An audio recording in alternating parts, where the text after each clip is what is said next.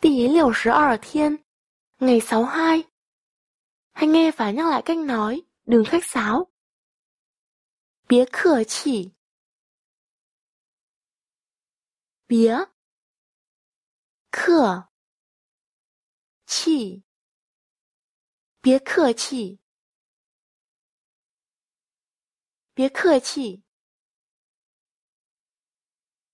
Bây giờ hãy nhắc lại các từ ngữ sau bằng tiếng Trung. Sau này còn nhờ bạn giúp đỡ nhiều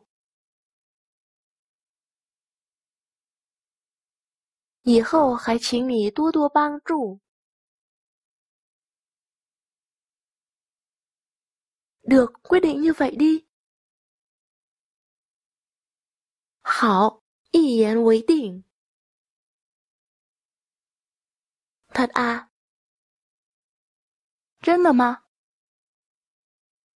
？giáo viên của hội quán tam thế.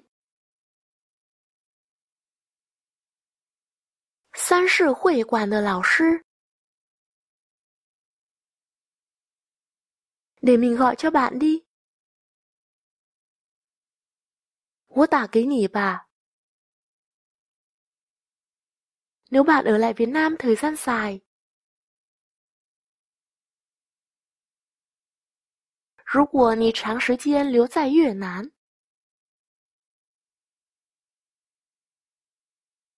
tìm thấy rồi，找到了，nhất định chắc chắn，一定，gọi chút gì，来点什么，hôm nay mời khách。 今天请客。